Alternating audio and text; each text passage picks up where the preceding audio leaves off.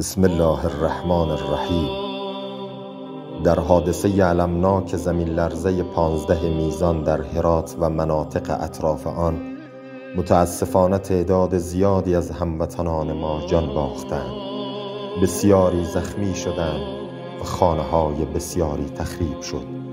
این رویداد غمانگیز و علمناک را به مردم شریف افغانستان به خصوص به آسیب دیدگان این حادثه تسلیت می‌گوییم و خود را در غم آنها شریک می‌دانیم.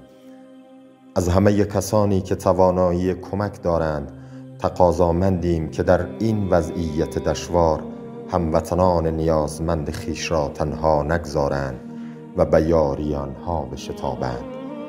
از بارگاه خداوند متعال برای جانباختگان این واقعه رحمت و غفران و برای مجروحان شفای عاجل خواستاریم.